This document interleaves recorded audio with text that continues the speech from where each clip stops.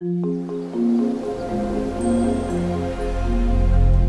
hey, welcome. Uh, this is Connecting with Code, the camp for 2023. Uh, I'm Dave Fisher. And I'm Bob Schaefer. uh, and we thought we would uh, do some coding with you. Uh, before we get started today, we wanted to talk about uh, the history of the camp a little bit, let you know our theme, some for this year, things like that. so, Connecting with Code is a project that we've been doing for, I don't know, six or seven years maybe.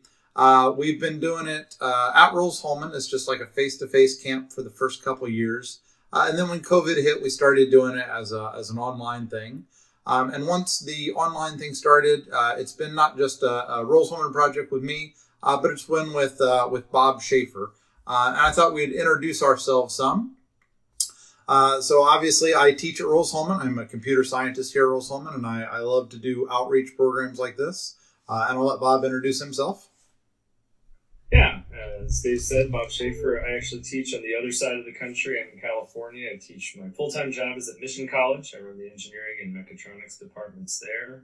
I also teach at Santa Clara University, and uh, I moonlight uh, at a nonprofit that I started about 10 years ago where I work with first generation college students who get trained to be uh, STEM tutors, and then they provide free tutoring through uh, for middle and high school students, and then they earn a scholarship for the time of the program. So one of the things that really excited me about being involved with this project is the outreach. Uh, the fact that this was a set of videos that could be made for free and and watched by anyone in the country or world for that matter.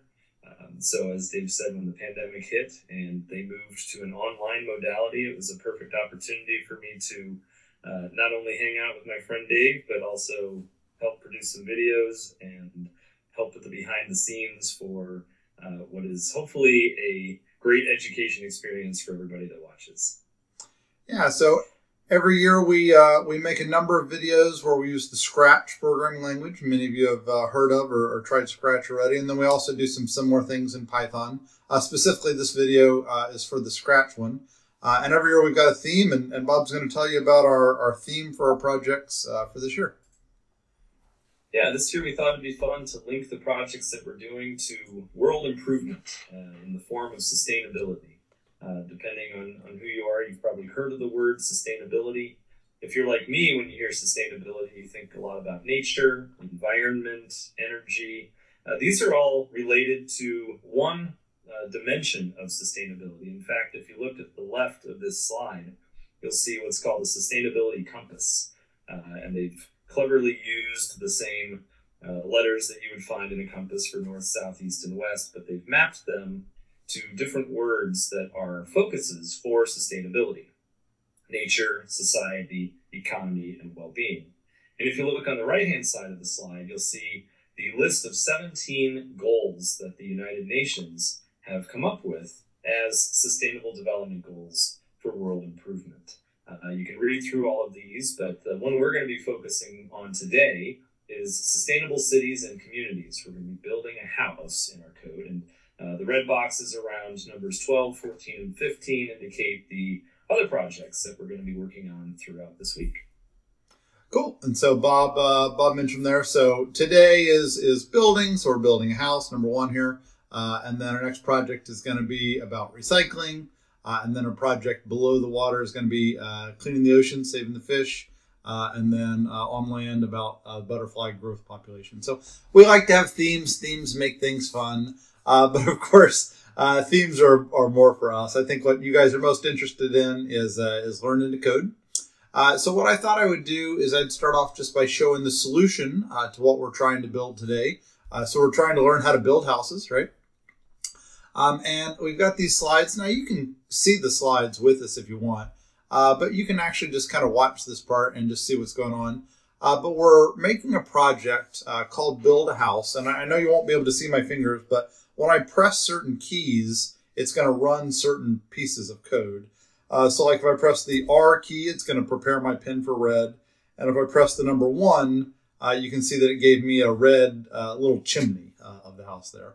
Uh, if I press uh, G2, uh, it'll give me a, a, box, kind of like a, a house box here. I'm still in green, so I don't need to press anything else. But if I press 3, will be a roof. I think I'll switch it over to blue. Uh, I'll press four uh, for door. Uh, that kind of rhymes. Uh, and then five, I believe, is going to be a window. Uh, and then I'll bring it back into the red color for the final one, number six, which is a little doorknob. Um, and so the idea of this project is obviously we're, we're building, so it's uh, it's connected to sustainability, uh, but it's to um, build something up in small pieces. So, for example, we're going to build like the chimney just like perfectly together, right? Um, and then we're going to build the box, you know, almost exclusively together. And then after that, we want you to try to like do some things on your own, uh, and then we'll show you how, and then try to do some things on your own and show you how. Uh, and the idea is, is that when you're done, you'll you'll have this little project uh, to build a house. And by the way, you can hit space uh, to erase, uh, and then you can just go through and you can build your house uh, into whatever colors you want. And so that's kind of the idea of what we're going for. Bob, everybody know what we're trying to build? I think so. You know, one of the things I'll point out, if you can hit six or five again, you'll notice in a different color.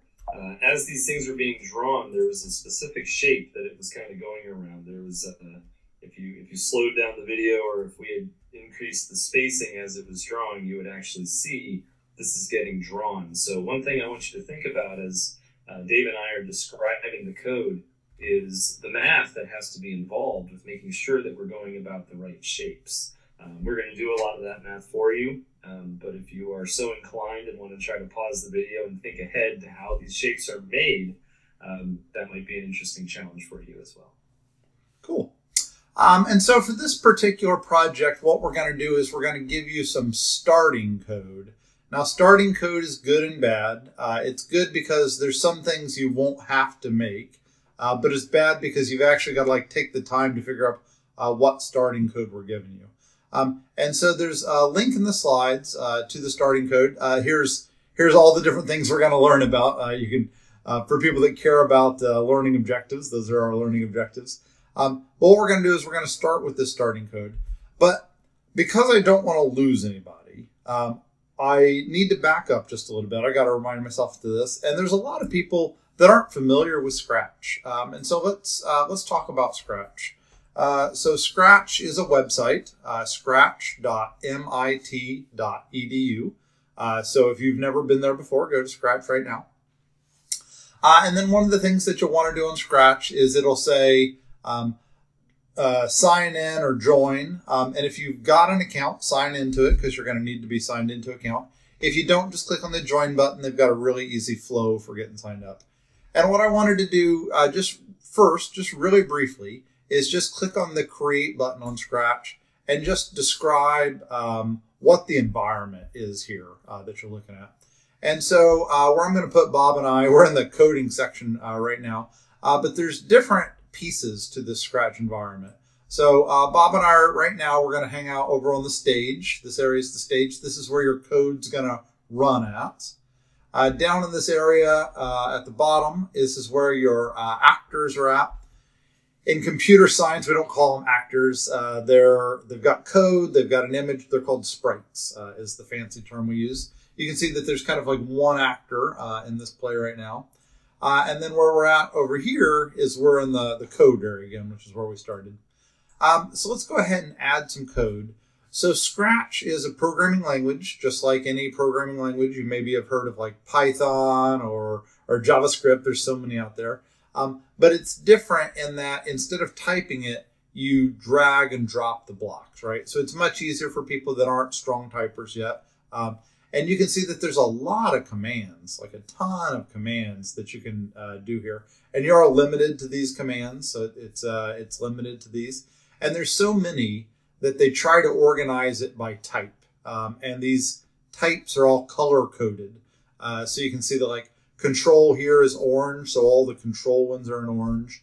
Uh, events is in yellow. Bob, the yellow and orange seem pretty close? I don't know yeah, why they seem pretty close. I don't know why use yellow and orange. Um, but I, I, can tell them apart. You know, one, one thing I'll, I'll share since uh, you passed it over anyway. Uh, you know, I want people to realize, even though this is a, a, simpler version of interface, you know, Dave mentioned this was drag and drop. If you uh, look this up anywhere else, it'll be called block coding. Uh, and the difference between block coding and text coding is actually not as different as one might think. Even though this is a very colorful environment and has a cute cat in the as the as the sprite, and the the code is very um, younger, uh, beginner friendly. All of the concepts that are built into every one of these blocks maps to an actual typed uh, keyword or command or function or uh, you know piece of code that is used in any one of the programming languages that Dave mentioned and any programming language that you'll ever learn. So as you're going through this, whether you're uh, young, older, in the middle, uh, this is, while colorful and bright and kid friendly, a, a very good learning environment for anyone that is looking to learn more about the world of programming. Programming, after all, is really just trying to get a computer, which is in itself a very complex device, uh, to do things for you. And uh, this is a, a great learning tool and an avenue to do that. So. Cool. Thanks, Bob. That's totally true. Totally agree. Hey, let's add just a little bit of code, and then we'll uh, we'll actually start in with the thing today. Um, follow along with me and go ahead and do this. So click on Events, and uh, typically your program starts with some event that happens. I'm going to zoom in on here just so you can see it. The event that's most popular is the when green flag clicked event. You can see there's a little green flag up here. And so the idea is, is that whenever you click that flag, the code that's connected to this is going to run. Uh, so let's just go ahead and really quickly, let's click on motion uh, and move 10 steps. And so if I click the green flag, uh, you can see that it uh, is an event and it causes that code to run. Uh, and so I click on it and he moves. Now this is probably the world's most boring program. Uh, you click it and he moves 10, right? If you click it enough times, you'll have to drag your cat back over and, and click him some more.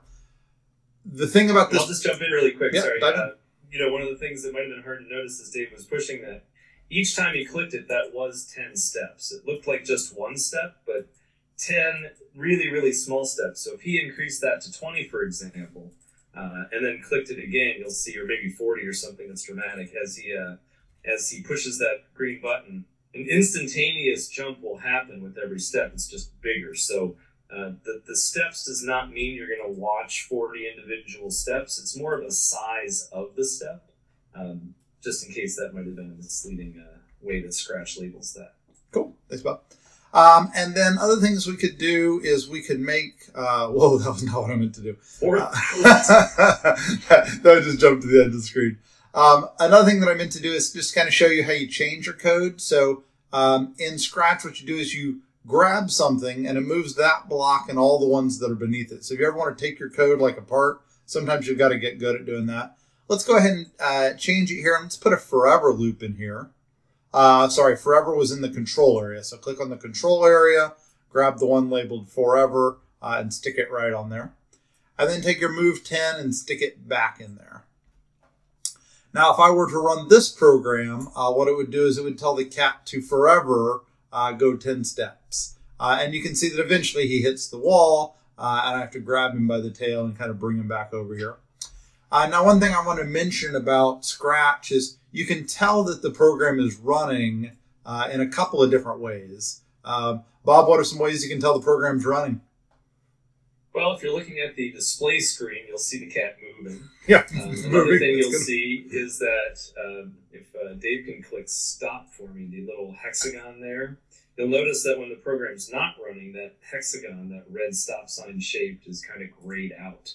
And when he's running it, it's ready to be pressed. And so if you look up there and see that you can actively stop the program, that means even if you don't see motion in the field, um, it still thinks it's running. It's trying to move 10 steps, but as you can see, the cat has hit the wall and there's nowhere else to move. But that red stop sign there is still uh, clickable, and, and so that indicates that your code is actually going. Cool. Uh, and then the last one, if you noticed it, is uh, it outlines it in yellow, right? So always good to uh, to know when your code is running, and usually you only change your code when you stop running it, right? But I just kind of wanted to point out uh, uh, that you've got running code uh, and not running code. The last thing I'm going to do on this, just kind of for fun, just add one more command. If you go back to the motion area, um, if you scroll down in motion, you can see that there's actually you know more commands than even fit on the screen. Um, find this one that says if on edge bounce and stick it in there. Uh, and now if you run it, you can see that he bounces and he goes back and forth.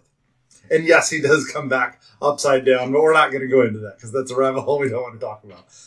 All right, so uh, Uh, this. One, one other thing before we leave this, if you don't mind. Yep. Uh, what if someone's writing code and then they decide, oh gosh, I put something in there I don't want? What can they do then? Yeah, so if you put in this like if on edge bounce and you don't like it, what you can do is you can drag it out and you can set it here. And it won't be part of the running code, or you can just drag it kind of like back over here and drop it, and then it's just like gone. And so that's kind of like the trash can. But I did want that, so I'm gonna put it back. Uh, the other thing you can do is you can uh, actually save your work, uh, which is good in programming. Uh, and so this one I'm just going to call basic cat. Um, and every time you save your work, it actually gets saved. Uh, if you're on the website, uh, scratch.mit.edu, it'll actually save it up to the cloud. By the way, some Chromebooks, uh, their schools have uh, regulations and they can't go to the Scratch website. If that happens to you, there's also a Scratch app that Chromebooks can install, and it works just the same, uh, except for all the files are local to your computer. Just kind of letting you know in case you do that. We have to run in that a lot um, at our, our school system.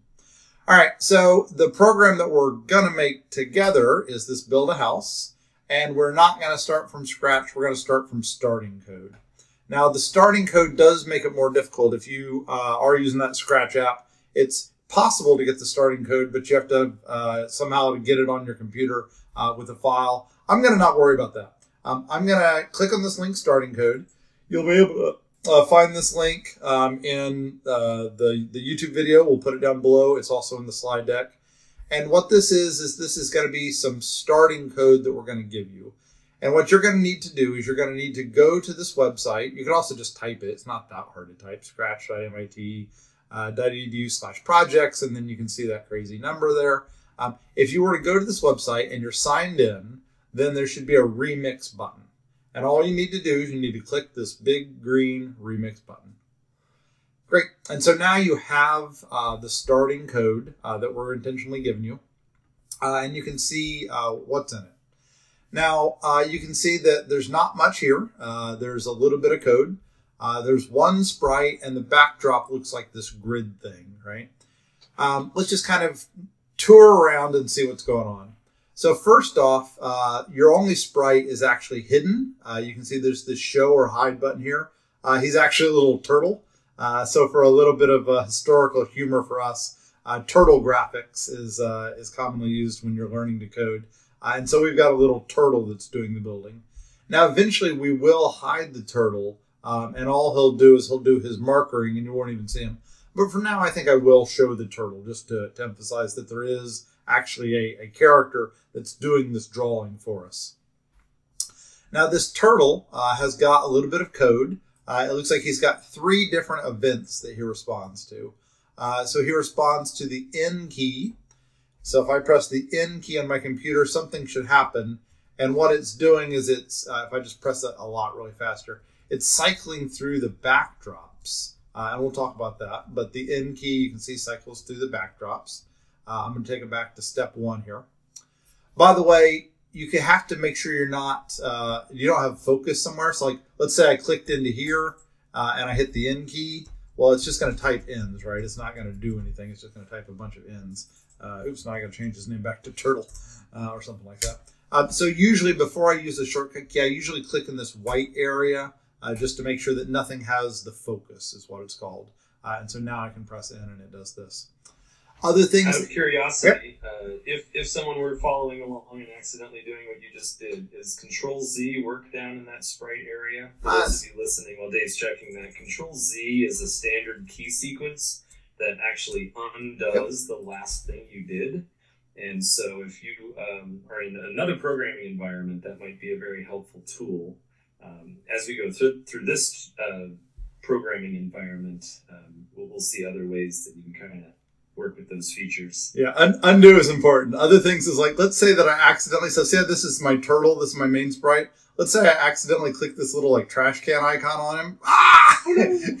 so your your options if you if you delete all of your code uh, are a couple. One is to scream, That's pretty common. The other is to very calmly click on the edit button and see if you can restore the sprite, uh, and it comes right back, right? So um, if you ever accidentally delete your sprite, it's going to happen to somebody at some point.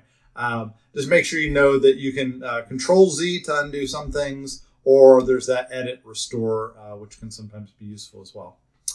All right, so let's uh, let's kind of keep navigating around. So there's an event that happens when the green flag is clicked. Uh, it does an erase all. It's kind of weird to erase all when we haven't actually drawn anything. So the turtle's going to do some drawing, like he's got a marker. Um, and then the space bar does the same thing. So you can use either uh, this to erase or space bar to erase. Great. Um, now the way code works is your characters can have code. You've also got this backdrop. Um, and so the backdrop is also called the stage. I'm going to click right over here where it says backdrop stage. And if I click on, there's tabs up here. I don't know if you've seen them. The backdrop can have code. It does not have any, but it could have. Um, and then you've got these uh, different backdrops over here. So it looks like I've made seven backdrops for you. I suppose I should move our pictures. And you can see that we're going to build this program up in stages. So like step one corresponds to like pressing the number one button. Step two, the two button, three, the three button, and the backdrop is showing you what it is you need to make. Now it's a little confusing because the goal of step one is to get your turtle to draw what's already there. So you're you're going to hopefully draw in a color other than purple. Um, and so you're going to draw like a little green L shape or a little red L shape or blue or, or whatever, right? Um, and then in yeah, step I, two, you're trying I, to do boxes. Yeah, go ahead, Bob. Oh no, I was just gonna say I'd relate this. You know how maybe many of you are just a couple years shy or away from doing this when you have a kindergarten book or something where you're practicing your writing and someone gives you the dotted things that you have to trace. We're basically creating a template for you to trace, but with code. The goal, of course, will be that once those things are stripped away, uh, you don't need those dotted lines anymore. You don't need those templates anymore. Your code will just build that house.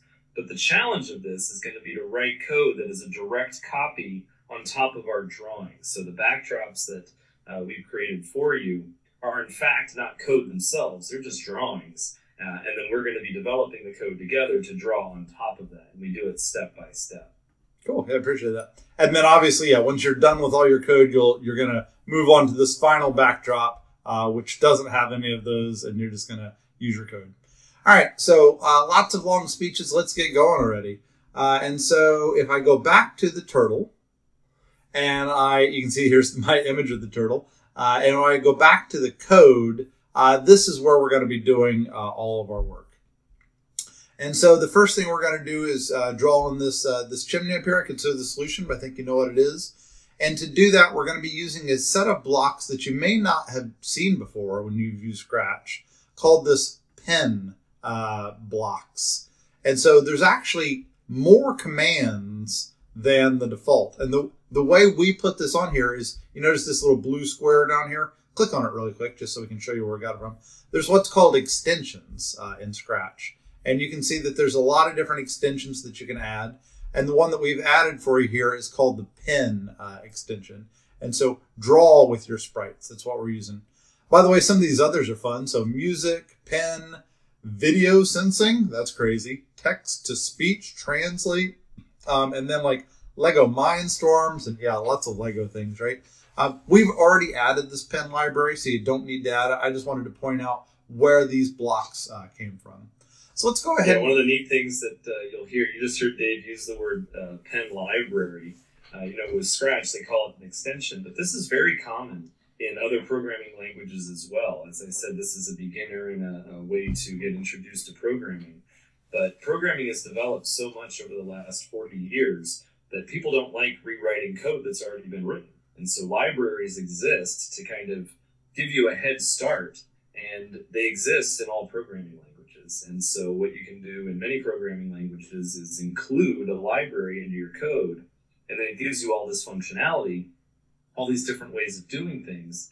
Uh, that you didn't have to then write yourself. So pen is like that. If you go into create, like Dave did at the beginning, and, and start from a blank slate, uh, you won't have that pen feature, but you can add that library, which gives you uh, many more opportunities to, to interact with your screen. Now, I'll, I'll also remind, I don't know if this was uh, mentioned earlier, and if it was, it's worth repeating. Uh, we encourage you to pause throughout this video.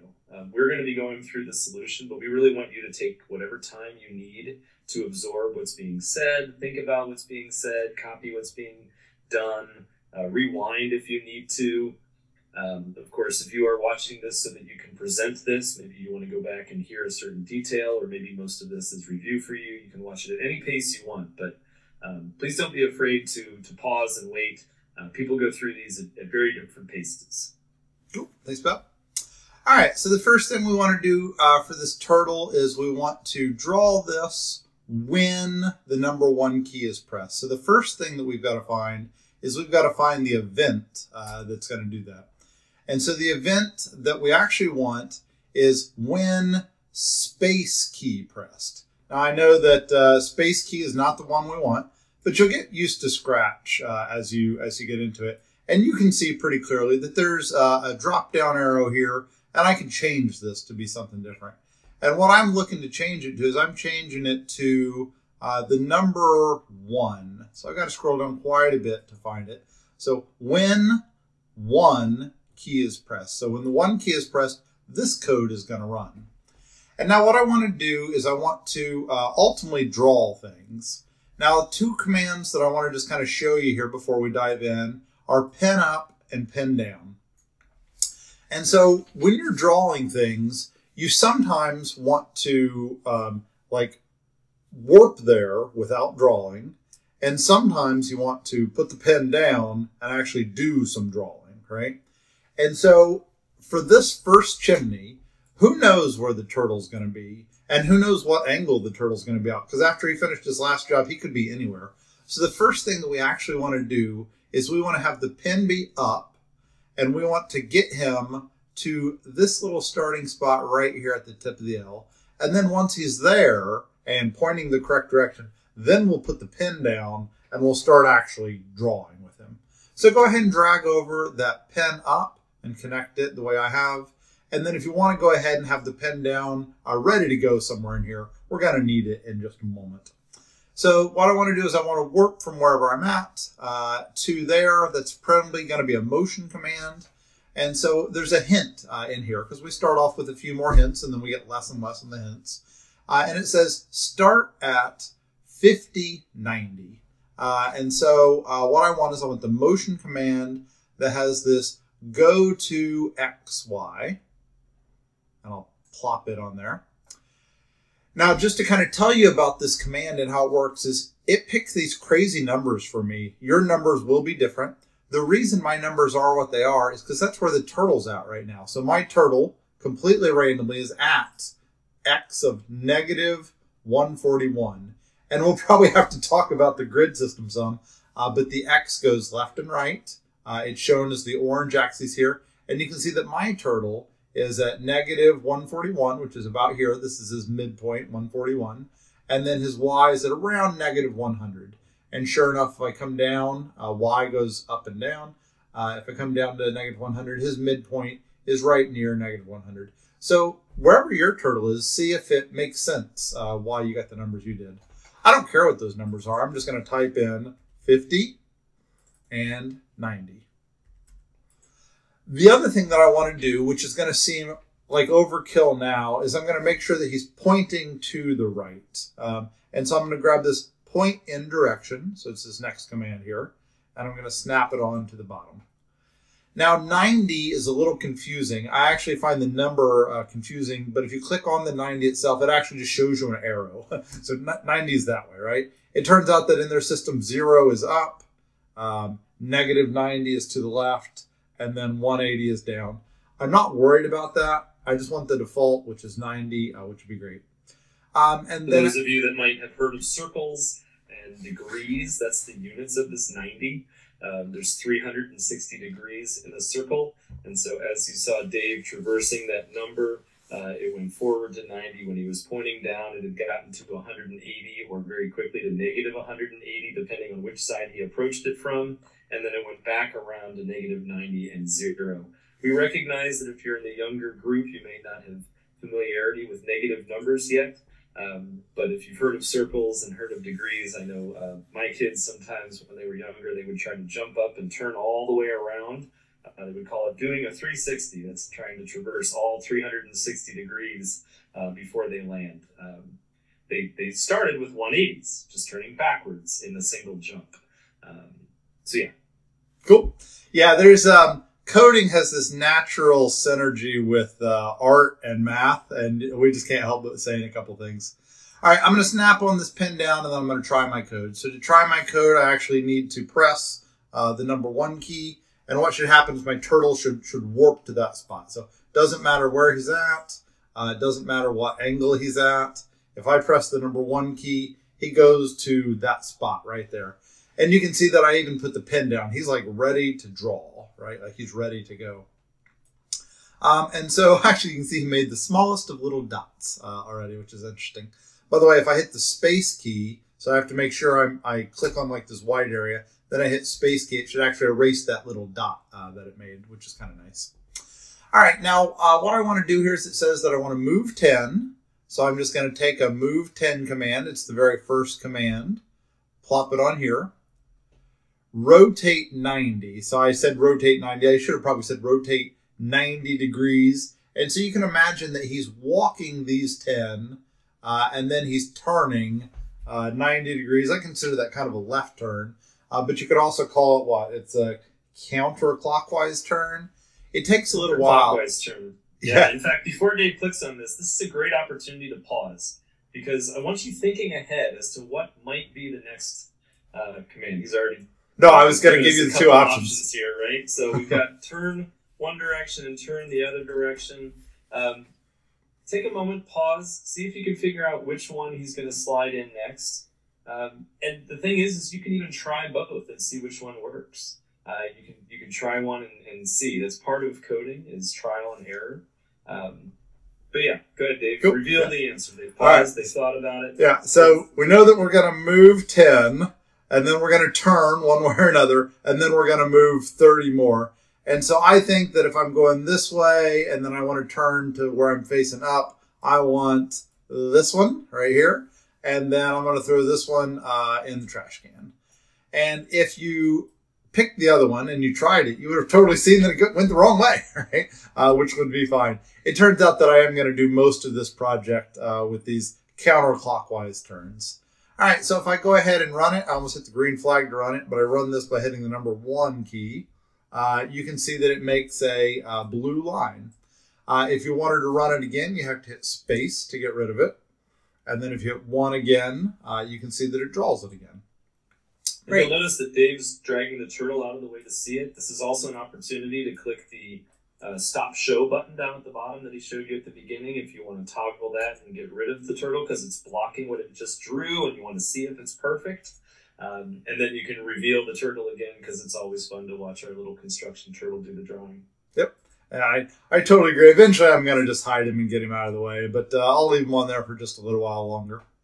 Uh, the next thing I want to do, uh, so we've actually finished step number one, but what I would like to do is right now it's always drawing it blue uh, for me. Um, and it's blue just because, I don't know, that's some type of built-in default. Um, I would actually like to be able to change to my own colors. So I'm going to show you uh, just a couple, and then you can add as many colors as you want. I'm going to figure out how to change it to red. So uh, I'm going to click on Events. And I think what I'd like to do is when I press R, that makes sense to me for R to be red. So I'm going to drag this um, when space key pressed over here, and I'm going to switch it to R. Um, and then I want to change the color to be the red color. Well, that's in the pen area. So I go back to the pen area and I say set pen color to right here. And uh, the way this works is you actually, it's purely graphical. You click on this little color thing here and it brings up this little color chooser. I have mixed feelings about this color chooser for, for younger audiences. It uses what's called um, color saturation brightness. Usually I just want to crank up the brightness and crank up the saturation. And then it basically just works like a rainbow after that. So I can have a, a red color here. Now if I hit R and then a 1, the R didn't do anything, but the you can see that then it painted it uh, in red. So I hit space to clear it. Uh, I hit uh, 1 now. You can see it just is set to red. So make some colors for yourself. So I'm going to make, um, I don't know, maybe I'll make a G. Um, obviously, I'm thinking of green. And your shades don't have to be the same as my shades. You can do whatever you want, right? I'm going to pick a green right there. I think I will make it a darker green. Uh, feels like a good green to me. Uh, and then maybe I'll add one more. Maybe I'll add blue. So uh, add as Can, many. I, can I jump in on one idea really quick? Dive in. Um, do me a favor and take that Win B press to trash. Just pretend like we didn't do this yet. Oh yeah. Okay. Know, I mentioned that uh, there's a lot of coding sequences that you can do that are kind of shortcuts. Control Z was a good thing to know to undo. There's also a way to copy and paste. I don't know if you've ever seen uh, that in other programs. Uh, control C, Control V. I actually saw a, a fun a pair of T-shirts once where a father was wearing a Control C and the, the kid was wearing a Control V. I thought that was kind of cute. But what you'll notice Dave doing, he just clicked on the when G is pressed up at the top, and it kind of did like a little movement and, and flashing. That's now in the computer's zone, right? That's what the focus of the computer is on. If you then press Control C, it's going to store it as a copy. Yeah, so I'm gonna do. I'm, I'm, I'm doing a bad job of example. So I selected Oh, no, it that's first, okay. Yeah. and then I hit Control C. Nothing happens when I hit Control C. Now go ahead, Bob. And now he's going to go move his mouse somewhere else. He's going to click there, or he'll just type uh, and hit Control V, and it's going to paste exactly what he copied. And so now he can move that. And programmers do this all the time. Uh, if you've written or typed like 10 lines of code, but you want to get most of it and just change a few things, they'll copy and paste. And so what he's been able to just do in, in the 10 seconds that I said that sentence is copy and paste that when G is pressed, change to green, and just drag down the G and change it to a B, change the green to a blue. Now he's setting the the, the letter to P, and I'm assuming that's a that's pink or purple. was We can decide. pinkish purple. It's P. yeah. So, so copy and paste is a programmer's friend, and it's something that is available to you even here in, in a block coding world. Yeah, that pink is is terrible. I'm gonna have to work on getting myself a better pink. Problem is, I don't know how to make pink instead of red, but that's okay. There you go. All right, so I think that uh, getting the colors was important to me, but I think that uh, you know how to do it, and you can make as many colors as you want. I think what I'm most interested in is moving on to the next uh, number. We got six of them total. And the way these uh, backdrops work is if you remember this code up here, this N is the next backdrop, we've kind of finished with, with step number one. And so what I'm going to do is I'm going to click into the white area and I'm going to hit the N. And so now I'm ready for step number two. And so step number two shows you an outline, a rough outline that you're supposed to kind of sort of get it close to. It does not have to be perfect. Um, and it also gives you potentially a couple hints. I'm going to warn you now that the hints are going to become less and less and less uh, as we go through this. Uh, so let's just kind of uh, go through uh, and start doing this. Just like Bob alluded to, uh, when you start the next one, you could make a copy of the previous one because there's going to be some similarities, or you could just make it again. I think this time, just because we're still pretty new, I'm going to make it again, but I'm going to kind of keep the other one up here as a reference, is what I'm going to choose to do. So you can see that the first thing is, is that I want an event. Uh, and this event is going to be for the key two. So I scroll down here to key two. The first part of all these is to zoom there. So while you're zooming, you want to do uh, pen up. And this hint does kind of sort of tell me uh, where I'm going to need to zoom to, which is very nice of it. It says to zoom to these coordinates. Now, uh, that's going to be in motion and it's going to be this go to XY. Now, we told you the coordinates this time, and it might be the last time we tell you, uh, because we want you to try to figure some of these things out, uh, like on your own, right? And if you look at this grid, you can actually see that the X direction is here. Um, and this starting spot, it's something that's near 100 but less than 100. And probably when you guess what it is, you're not going to guess perfect. Uh, but let's say you guessed, oh, that looks like negative 90, right? And then when you ran it, you'd see it's a little off and then you'd tweak it. And that's kind of one of the goals of this assignment is to see it's a little off and to tweak it to figure out how to tweak it and get it better. Um, but we told you this time it's just uh, negative 80. Um, and then the y uh, says negative 160, but we can see if we're coming down here, there's negative 100. The very bottom would be negative 180. And so not quite negative 180, it's negative 160. And depending on your grade level, uh, you might uh, need a parent's help, uh, or or you might be able to just make it happen. And then all of these start uh, with point and direction 90, so that part's the same.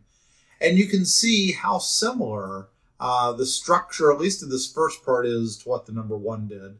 And that pattern will, will help you as you go. Now, what we draw is going to be very different, right? So what we drew last time was just pin mark, single turn, pin mark. Now what we're doing here is a square. Now, a square, so if I were to hit the number two right now, our turtle's going to go over here. He's ready to draw. There's two ways you could do this. You could, you know, draw. Uh, I'm just kind of demoing here, and then turn, and then draw, and then turn. Um, and you kind of am seeing where I'm going like this. You would draw and then turn, draw and then turn, draw and then turn. So that would be four draws uh, and four turns that are all kind of basically the same thing. Bob, any guesses as to what we're going to do instead? Well, you used the phrase up in the hint. You said use a Ah, loop. darn it. I already said it in the hint. I shouldn't have put that in the hint. No, this is the beginning video. We That's true. That's true. All right. We're going to use a loop, and uh, as Dave will show you control, I believe, you'll find a whole number of options of ways that you can do things more than once. Again, that's another standard classic programming tool because oftentimes programming is repetitive. In fact, programming was created to do mundane or boring tasks that people didn't want to do anymore or that people often made mistakes at. And so having the ability to tell a computer to do something repetitively uh, is a very key feature. So Dave's going to share with us how to do something four times through the repeat command. And so before we learned about the forever command, that is not what we want here. We want to do it a fixed number of times. Yeah, so sure enough, we want this repeat. Uh, and you can see that it defaults to repeat 10, uh, but this is a square, so we want a repeat 4. And so if we're going to repeat this four times, uh, what we're going to do is we're going to do the move, uh, which we've just told you the number here is 160. So I'm going to go to motion. And then I'm going to bring in uh, move. And I'm going to switch it to 160. We told you the number in the hint this time, but in the future we're going to stop telling you. But if we move from negative 180, or sorry, negative 80 to positive 80, so negative 80 to positive 80, the difference is 80 plus 80, which is 160. So that's why it's 160. And then I'm going to be really fancy. Um, next is the turn. So you got to figure out which turn you want. If you want to pause it for a minute, think about that. Uh, that's great. Uh, I'm going to tell you it's this turn that you want. And then uh, the next thing I've got to do is I've got to decide how much to turn. Now, you may know um, how much uh, a turn, like a, a right angle turn is. It's 90 degrees. And you might just type in 90 degrees. Um, I'm going to do something that's going to turn out to, to have value later. Instead of typing in 90, how did you get 90? How do you know it's 90? And so the idea is, is you're doing these turns, um, and then eventually you get right back to where you started. And so if you do four 90 degree turns, that does a complete circle, which is 360. And so what I'm going to do is instead of typing in 90, I'm going to actually go to operators. And if you go into operators, you can see there's things like plus, minus, multiplication, divide is what I want here. So I'm going to drop in a divide. And uh, I admit that it's harder for this time, but you're going to see the value as we get to the later ones. And I'm actually just going to type in 360, which is the number of degrees in a circle total, divided by 4. So 360 divided by 4 is 90. So I could have just typed in 90, would have been the same. But observing this pattern is going to help me later. So I think that this code should hopefully be perfect. Um, honestly, if you were doing it by yourself, you probably wouldn't make it perfect right out of the box. You would you would make it do something crazy, and then you would figure out what the bugs were, and then you would fix it from there. All right, so if I hit uh, the number two, uh, you can see, oh, it's doing my terrible pink color. Sorry I ever made that. I'm going to switch it to B, and then hit two. Uh, I switched it to blue, which is good. And so if you've got something wrong with yours, uh, let's say this like 80 was uh, accidentally typed in the wrong number, uh, you would see it would draw a, a crazy box somewhere else, right? So Um, that happened very fast, Dave. Could you put in a wait? And so find Yeah. some way to delay this so that they, if you guys want to watch this drawing happen, uh, there's a way that you can put in this wait command before each of those loops are done. So you can watch it draw each part and really get a better idea. Because right now, as Dave's doing this, um, you know, he, clicks the two and it just drew the box. And it was all happening very fast. Um, he's pressing two one time now, and now his hands are off of it. This is just going through a series of those loops, doing each of the move, wait, turn, wait. You can now watch the turtle if he presses it again with red. You can watch the turtle go through each of those steps, moving, then turning, moving, then turning, and now the turtle's completed the four the four steps. Yeah, it's kind of neat, isn't it? So, um, yeah, we could have done a better job with uh, with showing those. It's just a matter of whether uh, you like them in there or not. Um, maybe I could make them still in there, but really fast or something. I don't know. I'm impatient, so I have to uh, have to get it done fast, right? All right. So uh, at this step, uh, we've got step number two complete. Uh, there's only six total, uh, so we're actually doing pretty good. Uh, the next thing we're going to do is hit the N key, N, and it's going to show us, and then I'm hit space to clear off anything I've drawn. Um, and so our next goal is to draw the roof. And by the way, this this code is still here. It, it's building, right? So like, I mean, I can still totally hit one and two, um, and it draws those early things just fine. And so now what we're trying to do is we're trying to draw the roof. And so uh, what I'm going to do this time, just because it's different, is I'm going to copy this other one, um, and then I'm going to give you a, a little bit of time. You're going to have to pause the video uh, and see about making it yourself. So we talked about copying where like you select it and you hit Control C, Control V. You can also just right click. So if I right click on like the word win here, and there's actually this duplicate uh, that you can use as well. And so you can duplicate that over. And so what I want you to do is uh, figure out what needs to change for this. So obviously the two is going to change to a three. The starting point is going to change. We did not tell you where the starting point is. You're just going to have to figure it out from the drawing. Um, then this is drawing a triangle. So it's this roof up here, this triangle that we're doing. So you're going to have to figure out how to draw a triangle. You're going to have to figure out how long each side is. Um, you would normally have to figure out what the angle is, but we told you in the hint that it's 120. I don't want you to use that 120 though. Anyway, I want, I've got a better system here with my division. So what I'd like for you to do is, is pause the video and see if you can do it yourself. Did you pause it? Bob, do you think they paused it? Maybe. All right. So, all right. Hopefully you've unpaused it now, uh, and we're gonna we're gonna go through it with you, right? So, Welcome back. welcome back. hopefully It's been a you, good hour, I'm Ho- sure. Hopefully you knocked it out. So uh, I'm going to switch the uh, two to a three. That was the first thing that had to change. Um, I'm going to switch the, instead of starting down here at negative 80 in the X, I'm going to look at my drawing and I want to start right at this corner is where I'm really hoping to start. And this corner, well, I can see the number negative 100 here. This is orange. So this is actually my X is negative 100. And then my Y, uh, well, my Y, this line is actually the middle of the screen. So my Y is actually zero.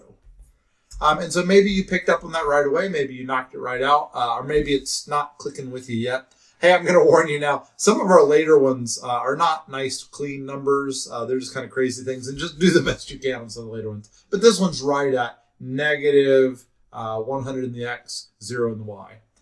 And then um, I'm going to intentionally make a mistake in here. So when I intentionally do it, don't don't freak out. But I'm going to change it to a triangle. Uh, and so I know a triangle has three sides. So I'm going to change it to the repeat three. And then I'm going to run it. Uh, obviously, it's not going to work yet. But I just, every time I've done something so far, it's been like perfect. Uh, but if I were to run this now and hit three, uh, you would see that it would do that, right? Um, and you can pretty quickly see that I've got a couple bugs uh, in my code. Uh, the first bug is that my angle is still a 90 degree angle. So you can see I'm doing 90 degree angles. Um, and so what I also need to change is I need to change this 360 divided by 4. So 4 was because it was a circle. Now I want to do 360 divided by 3 because it's a triangle. Um, I've still got more bugs, but I'm going to go ahead and try it again. So if I hit 3 right now, uh, you can see that it, it drew a very good triangle, uh, which was awesome. I think I'm going to hide my turtle uh, at this point. So you can see it drew a very good triangle, but it was too small. Um, and the reason it was too small is because it did 160, but that wasn't enough. And so, you know, maybe you can look at the figure and maybe you can see what it is, but it's also totally acceptable just to type in 180, hit space to clear the old one off, hit three to draw it again. And you can see that it's uh, it's it's quite a bit closer now. So it's like, well, that's not quite right. I hit space, um, and then I try 200. This is what's called guess and check. Um, guess and check. There you go, 200. We're fine. Um, guess and check is perfectly acceptable for our, our level of coding, right? Eventually, you want to get to where you're doing things more elegantly and you're thinking about the fact like, oh, if I if I start at negative 100 and I'm going to positive 100, well, of course it needs to be 200, right? So I can just tell that. Um, and also, by the way, if you wanted to take out these delays, you could. Um, again, you take them out, you drop them over here. It's kind of annoying to take things out of the middle because you have to kind of like take it out and it takes out too much. And then so you kind of like break it apart. Uh, you'll get better at it once you, uh, I can describe to you all day long how I did that, but it's better if you just play with it some. And so that will do the exact same thing. I will just do it in turbo mode. Any comments about triangles, Dr. Bob? No, I, I, think you did a great job, and I think this is a perfect example of things that you can kind of think about as using the model of a previous shape to kind of think about what that next shape is. Um, you know, when you had that square, you knew it had four sides. Um, when you thought about that example I mentioned about my kids jumping and doing a, a 180 turn, you could think about half of that being 90. Uh, triangles start to get into a little bit harder math, I guess, if you're uh, if you're younger, 360 divided by 3, maybe not necessarily obvious, but knowing that it had three turns and knowing that Dave set up that operator in there uh, might give you a hint thinking ahead as we go forward in terms of uh, how the number of sides of our shape is going to relate to uh, the way that we calculate that angle. Cool. Thanks, Bob. All right, so we're, we're moving right along, uh, halfway done. Uh, so click into the white area hit the N key and you can see the, the next challenge.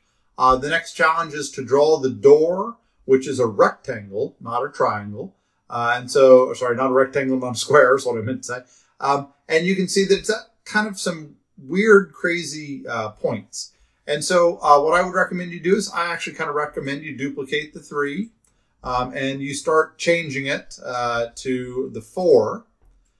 Um, and I want to give you some time to work on this. I've done this live with people, and I, I usually give people quite a bit of time to work.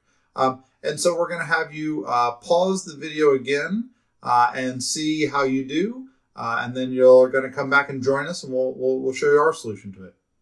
Go ahead and pause it. We said pause it. Yeah. Uh, all right, so let's go ahead and solve this with you. Uh, so the first thing is trying to figure out where we start at. Uh, and so if we look at our turtle here, uh, and we try to like just get him to go to that corner. Um, then we've got to try to, to guess what those numbers are. So if I was looking at it, I would say that the X is somewhere in the negative range. Uh, I don't really know, maybe negative 30. Uh, I'm just kind of like shooting over there. And then the Y, if you look closely, this Y is actually the same spot as this line before. Uh, and so it looks like that Y was negative 160 if I look at my other code. So don't have to think about it. I can easily cheat. And so if I do those two things and I hit the four key, uh, he should go to roughly that spot. Now in my notes, I happen to know uh, that it's not uh, negative 30, it's actually negative 25, but it, it just doesn't matter, right? All right, so he's gonna start there. I'm gonna hide him again. I'm gonna put this other code back on. And so what he's gonna do is he's gonna start off pointing to the right. Now, uh, we've got a, a, problem here. So if we tried to just change this to be 4 and just tried to change that to be 4, uh, and we made it shorter, so if it starts at negative 25 and it goes to positive 25, that'd be 50 long. So if I tried to run it just like that, uh, I would get a square. It's kind of hard to see there. It's a little better. Maybe I'll put it in red. Um, and so the problem is, is that a door is not a polygon, right? So it's not, it's not four equal sides. So this trick of, of just this nice, clean repeat and turn, that didn't work uh, for this one. So uh, we're going to have to do something different. Uh, there's two options. Uh, there's two options for this. One option is uh, to do no loops, right? So in fact, I don't even have to, I guess there's no problem with that. Um, one option is no loops. You just like do um, all the moves, right? So it goes, there's a short side, which is like a 50, uh, and then alongside, which I'll just guess is 100. I think it is, a, in fact, 100. Um, so, and then after that, it's another 50. And then after that, it finishes with a 100. All right, so I'm going to try that. So I'm going to hit space to clear it off, and then I'm going to hit number four for this. Uh, and it looks pretty good. Bob, you got any plans how we can do it better? So I actually wanted to back up for one second and mm-hmm. see if you could just show them because I know a lot of the kids are probably figuring out, you know, how did they trial and error this? You knew the answer. Can you just show them, like, if they guessed wrong, negative twenty five, what that process looks like? You know, if you had guessed negative thirty, like you originally yeah. had, uh, and say, you know, maybe incorrectly guess that this was going to be fifty instead of uh, instead of fifty, it'd be sixty steps wide. Um, so you know, to make it symmetric, what that would look like. Uh, and, this is quite common whenever you're doing coding or any problem solving uh, in computer science, engineering, etc. Uh, there's a lot of trial and error. There's a lot of iteration. Uh, I call it productive failure. You know, you, you make a mistake and then you uh, you reflect on it and you figure out what you can do to improve, and then you you try to make it better. And I don't think that there's a, a clean way to zoom on this, but you can kind of tell that you can see a little bit of that purple um, yeah, there you go. You can see a little bit of that purple inside, so it's a little off. Yeah. Um, and and so so Dave knows from the way that this was designed at the beginning that this started at negative twenty five and was fifty wide. That's kind of how we created that background. Um, but when you're doing it, maybe you came up with negative twenty seven and went fifty four, and it looks good enough for you. That's great. Yeah. And uh, honestly, like if I had done negative 30 and done 60 to make it symmetric, I would have called that just fine, right? Um, it wasn't not, bad. I mean, if it misses by too much, like let's say I had done 120 for the height, you might be able to see that, right? Like you can see that that that's not quite right. Uh, so I'd probably fix that. Um, but yeah, that's a really good point, and that really um, we love for people to just play uh, and tweak it, and that's something that we're going to really um, focus on on the on the next two, right? Is is doing that.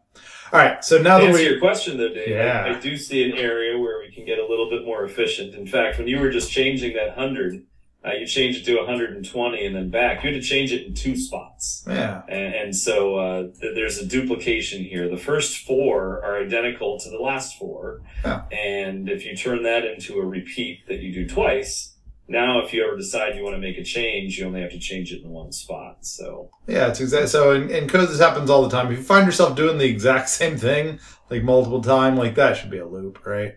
Um, now you can drop this loop if you're really good uh, at dropping loops. You can actually drop it to where it grabs the right things. That you can just drop it to the bottom and then bring them out I'm going to try to drop it where it grabs the right things. And so if I do, if I do those four things short turn, long turn. Um, I can actually just repeat them uh, and just trash this one. And that's a little bit better because that way when I'm changing things, I've got fewer places to change them in. All right, I'm going to review everything. So number one did the chimney, two did the uh, the box, three did the roof, and then I'm going to change to the color green for this new one that we just did, uh, which was the door. Neat. All right, so the next things we're going to do, uh, I'll try to show you what we're going to do without showing you the solutions. Uh, ah, solutions right there. Ah, more solutions. Um, so the next things we're going to do is number five, uh, which is going to draw a chimney, uh, sorry, a window. Uh, and then number six is going to draw a little door handle. Uh, so I'll switch it to red here and I'll fill in the other things that we're going to be doing. so we've already done the things in red. we're going to do the window at the top next and then the doorknob after that. So to uh, to start the next thing, uh, what I like to do is I like to hit the N key, uh, which takes me to step five. I'll hit the space bar, which kind of gets rid of all the other things. So we're we're making this window, which you can see if you look close in the background. I didn't make perfect either, um, and I don't uh, expect you to uh, to have to make it perfect either. Now I'm going to start by duplicating uh, some of my other code. To be honest, I think that I'm going to go back and duplicate the triangle again um, just because it's uh, this one is a regular polygon, uh, and so I could duplicate the triangle uh, or I could duplicate the square. The square has these time delays in it, though. I think that I'll actually duplicate uh, the number three, plop it over here.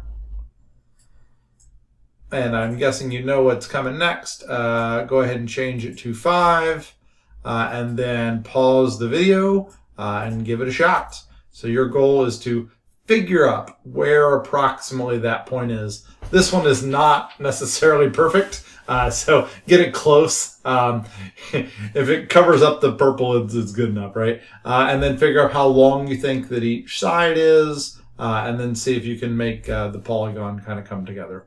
All right, pause the video. All right, we're assuming you paused the video. We're assuming you did it, uh, and we're assuming that uh, that we can just kind of check it out. Uh, just because I, I know the solutions, I've got them written down, but I don't want to like uh, that's not how you did it. The way that I uh, can do it is I can actually here's another trick you can use. You can put the turtle uh, at roughly that spot. So I want this spot right here, this corner. And so if I figure out like, wait, where is the middle of the turtle? I put him right there. You can actually use these to kind of guess and cheat. and so this says that the turtle is at negative 22 in the x. I'm copying that number from there. And 32 uh, in the y. Now, it turns out that we always pick nice round things. So I think that mine, I'll pick 20 and 30. That seems like a pretty good thing. Um, and then if you look closely, uh, you can see that the length of this side uh, makes its first turn right at the zero. So this, this number here actually would tell you the the edge length as well. Uh, and so this thing is going to be uh, 20 steps. Now I'm doing it correctly again. Um, and then the number of turns, there's eight turns. Um, and then I need to change that eight also shows up down here in the degrees.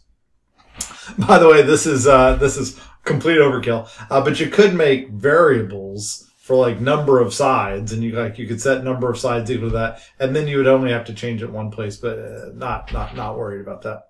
All right let's uh let's give mine a go. I'm going to put it in red uh, and hit the number five uh, and then i'm going to hide my turtle uh, and to me that looks good enough. Um, if you like were really picky yeah i agree. It looks like it could probably come down a couple pixels. Um, and it looks like it could probably go back a pixel or two not that worried about it, right? So, all right, maybe that was a pixel too many. So if you wanted to get it right on there, that can be a fun little game. Oops, wrong button. Uh, but it does not have to be perfect. I think that that looks uh, good enough. Really, uh, what you can do is you can make your uh, your pen thicker, right? So instead of setting the pen size to five, I can set the pen size to like mm, seven. um, and so whenever I do it now, now it'll cover it up. All right, good enough. All right. Everything look okay, Bob? Anything you uh, you're thinking that we would like to share about the uh, the window polygon? No, it looks great to me. I came up with the same similar numbers. I think I did negative 21, 29, and it looks close enough to me. And as you stated, I think the the drawing that we did in the background uh, may not have been it's not exactly constructed as as cleanly or as precisely as what we've just did with code, right? Yeah. So if the template uh, which is what you call kind of the background that you're trying to trace on, uh, was was drawn without code, and then your code draws something that you know is is perfect angles. Uh, sometimes the the uh, copy becomes better than the original. Yeah, the, just to share, I did just draw these, right? So literally, I was just in the drawing tool and I just drew them. So my drawing is not going to be perfect, uh, but your code uh, is is much more perfect, right?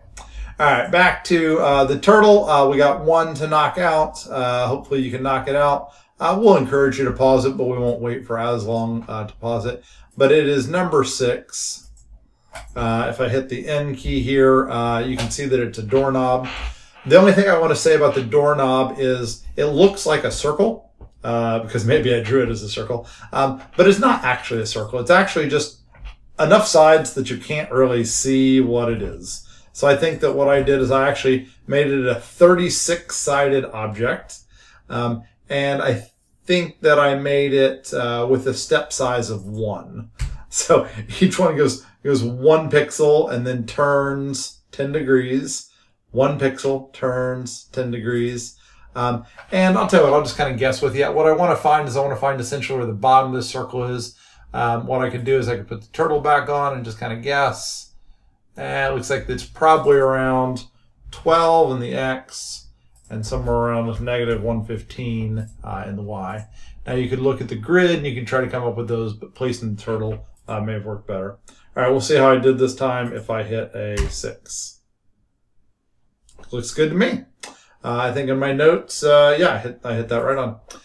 All right. So uh, I guess I didn't pause it at all there, uh, but you can see that that is the uh, the the knob. That's how it goes sometimes when you're coding. So uh, let's kind of reflect on this a little bit. Uh, oh, we've got to go to our, our uh, final backdrop. Hit M one last time. So this is the uh, the final backdrop. Uh, I think that I didn't like it with a thickness of six. I liked five better. And uh, see if you can make your your painting. So I'm going to go with a blue chimney. That's number one. A blue house. a red roof Mm, let's go with a green uh, door. And then I'll go with, uh, I'll stay with green for my window and then back to blue for my uh, doorknob. Cool. Uh, so you can see that we built this up a little bit at a time. Uh, we added code to kind of show these different things. Uh, and the number of things you can do with code is is just insane. I admit this is not really a game. Uh, this is more of like a, a simulation. Oh, I didn't use my my pink. Um, but you can see how that when you code, you break things into pieces. Uh, you definitely learn from uh, what you've done in the past. Uh, and hopefully there's a, a, lot of cool things you can learn. Bob, you want to break it yeah. down for us a little more? Yeah, with, with this one, you know, I think we've, we've provided a, a template in terms of how to build a house, but hopefully we gave you the tools where you could decide how you could draw lots of other things. Um, obviously with as, as Dave was describing these polygons, these things that have a nice uh, symmetry. Symmetry is a, a, fancy word for they look the same uh, on left and right, or depending on how you rotate it. Um, so you could play with that and try to see if you could come up with other shapes. Um, you know, challenge yourself to come up with other designs and, and think of other things that you might want to draw that aren't a house, but can copy this code into a completely other program uh, to draw a car or draw a uh, you know a, a building. You know, you can think about things that are made up of shapes and, and kind of play with the code that we already have and, and create these little art based programs for uh, you or your your friends or family to play with. Yeah, pl- playing is huge, right? So just uh, while Bob was um, was encouraging you to play it, like it inspired me to play. I thought it'd be fun. What if I, um, what if I made a sun for number seven, right? Mm-hmm. Just feels like I should have a sun here. So I haven't practiced this at all. I just thought I'd see what would happen if I, if I drew a little sun, right? Um, and yeah, the, the number of things that you can do are, are just, just insane with code, right? So like you can make spirals and yeah, won't even, won't even get into it, right? And, um, if you make these shapes uh, different, uh, yeah, you can get you can get all kinds of fun fun little things. So let's let's say that I didn't go 360 degrees around the circle. I went 340, and I did 200 of them. Um, you can just see what happens, right? You can just play with things, right? And so here's my uh, my sun. All right, 340 wasn't quite extreme enough, but you can just play with things and see see what happens, right? So let's see here. Could I get, uh, yeah, that's good enough. Um, but you can just goof around, uh, and, and do whatever you'd like. Um, so I'm to say seven degrees. Yeah, in fact, you could, uh, you could even think about what happens as you, um, if every step you kind of branched off and made a turn and drew and came back. You could give the little spokes on the sun. Yeah, you could do so you much. Know, sky, sky's the pardon the pun. Sky's the limit uh, when you're when you're drawing um, and and when you're writing code. Um, so yeah, and, and the other thing I would encourage you to do, Dave uh, quickly mentioned variables. This is something we're going to talk about in our next program, and uh, you can always go back and change code that you've previously written. Yeah. You know, one of the things that Dave and I do a lot is we'll write a program. Uh, we won't think about it for a while, and then we'll come back a month later, two months later, and we'll look at the program and be like, oh, hmm, you know, there's probably a better way to do this, better way to do that, different ways to do this. Um, iteration is is great, and after you've thought about a problem and learned more skills, you can come back to this. Uh, whether you're following along with the video or just doing it on your own, and probably come up with uh, many different ways that you could improve upon this with the, the skills that you'll learn as you go forward.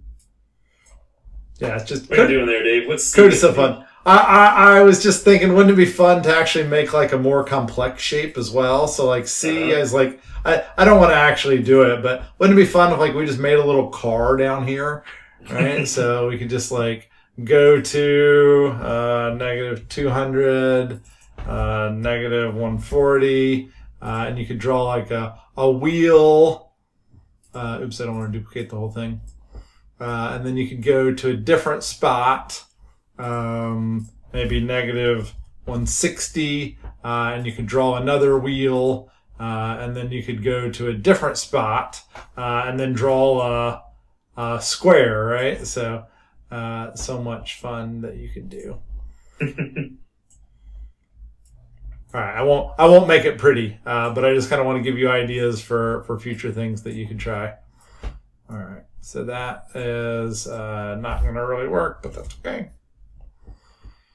All right, so my uh, my first attempt at a car is to draw a wheel, another wheel, and a box. Pretty good Yeah. car, huh? So see if you can make a better car than that. I'm guessing that you can. wheel, wheel, and there's the car body, which was a little on the huge side. All right, we're done. Uh, we'll stop. Uh, we'll see you uh, for the next video. Uh, hopefully, you've learned uh, more about sequential problem solving. You've learned about the color blocks in Scratch and breaking big problems down into smaller pieces. Happy coding. Bye.